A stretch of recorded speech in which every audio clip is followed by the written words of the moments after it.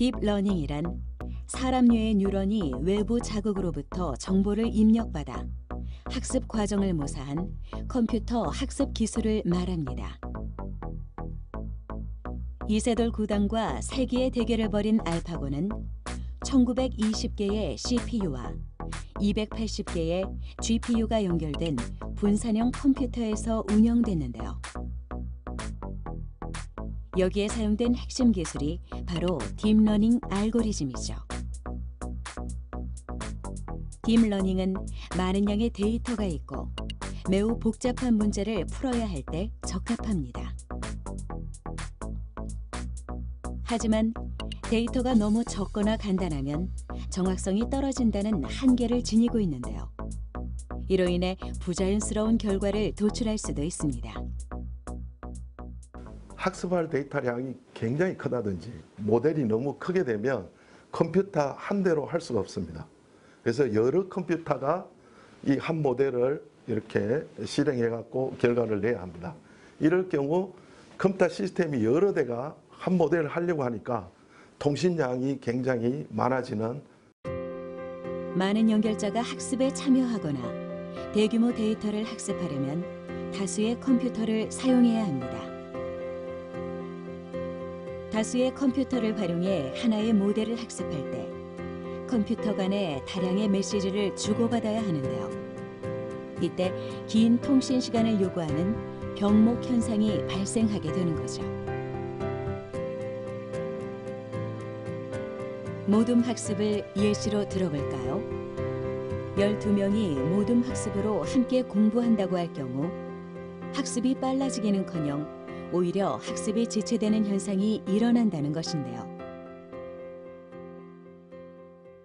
저희들 그 딥러닝 HPC 기술은 이 그림에서 보다시피 사용자가 이 대규모 어, 모델을 개발할 경우 컴퓨터가 한 대로 이렇게 운영이 안 됩니다. 그래서 여러 컴퓨터를 써서 이 한 모델을 그 학습하게 됩니다.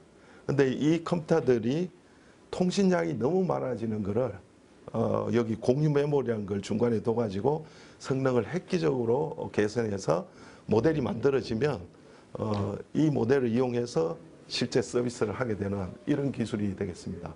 그래서 이미지넷이라든지 수백만 장, 뭐 1,500만 장 이상 이미지 데이터를 이렇게 분석하게 될 때 거의 뭐 일주일 걸리는 시간을 하루나 이틀 만에 이렇게 어, 결과를 낼 수 있는 이런 기술이 되겠습니다.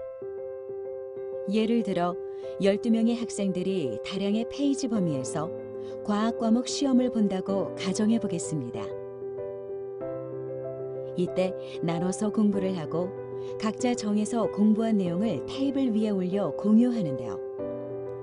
공유된 내용을 가지고 가서 학습하면 더 효율적이라는 의미인 셈이죠.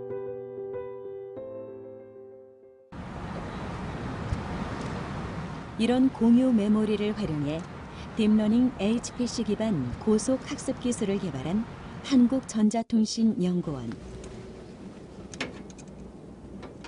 4차 산업혁명을 아우르는 인공지능, 사물인터넷, 클라우드, 빅데이터, 슈퍼컴퓨팅 등의 핵심 연구기관입니다.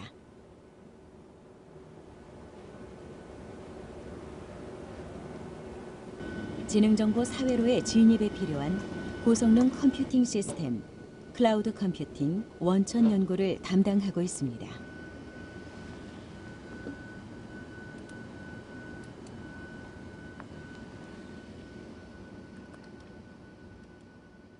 아, 지금 저희가 개발한 공유 메모리하고 그리고 이 공유 메모리에 그 접속할 그런 각 노드 간의 그 통신 속도를 지금 측정하고 있는 중입니다. 그래서 이게 단일로 동작을 했을 때 그때 속도하고 그리고 그것이 각각의 이 노드들이 붙었을 때 그때 속도들이 어느 정도 이렇게 성능이 뭐 많이 저하가 되면 안 되니까 그 성능이 어느 정도까지 감내를 할 수 있는지 그런 것들을 지금 측정하고 있는 중입니다. 그래서 그 지금 현재 상태를 봤을 때는 크게 성능 저하는 없었고요. 그리고 저희가 동시로 억세스를 했을 때 어, 충분한 성능이 지금 나오고 있습니다.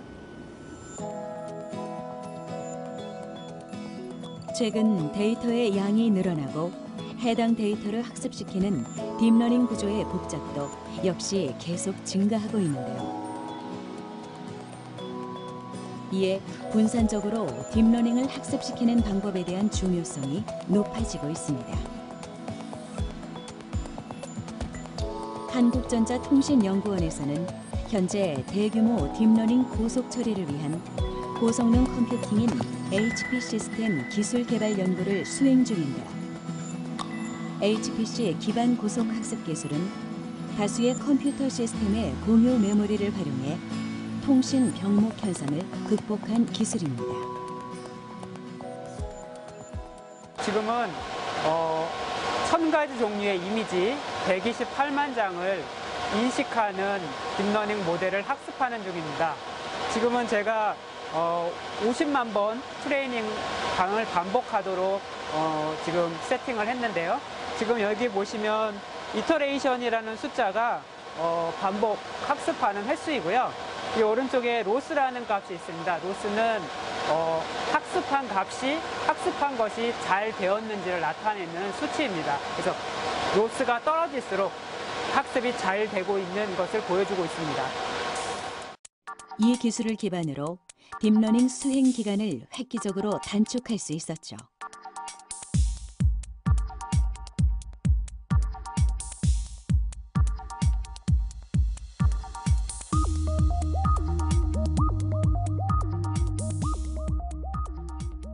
저희들은 이 시스템을 그 굉장히 좀 일반 사용자들이 사용하기 매- 매우 어려워서 어, 쉽게 사용할 수 있는 딥러닝 그 GUI graphic user interface 도구를 활용한 대시보드를 개발했습니다.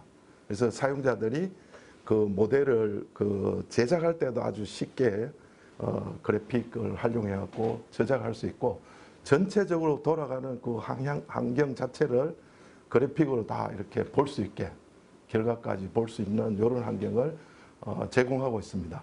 또 저희들은 이 그 기술을 모두 클라우드 컴퓨팅 환경에 이렇게 그 설치를 해갖고 누구나 어, 시스템 없이도 사용할 수 있는 이런 기술을 제공합니다. 딥러닝 대시보드를 통해 대규모 이미지 인식이나 음성 인식 분야에서 초보자들도 쉽게 그래픽 도구를 이용해 모델 개발에 이용할 수 있습니다. 복잡한 명령어를 그림 모델로 추상화해 쉽게 표현하는 언어를 개발하는 등 딥러닝 기술을 지원하는 환경을 구축하기 위해서도 노력을 꾀하고 있는데요. 딥러닝 성능 문제를 해결함으로써 국내 인공지능 산업을 한 단계 성장시키고 있습니다. 그 본 연구 결과는 그 4차 산업혁명 많이 이야기들 하고 있는데 주 응용 분야 중에서 딥러닝 성능 문제에 관련해서는 어, 확실한 해결책을 제시한 이런 연구 결과라고 어, 생각합니다. 그래서 인공지능 산업의 그 인프라의 이 분야에서 선도적인 그런 마중물 역할을 할 거로 생각하고 있습니다.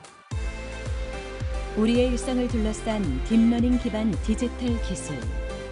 조금 더 따뜻하고 편리하게 안전하며 행복한 삶을 누릴 수 있도록 사람과 기술 그 속에서 세상을 바꾸는 콘텐츠로 성장해 가길 기대해 봅니다.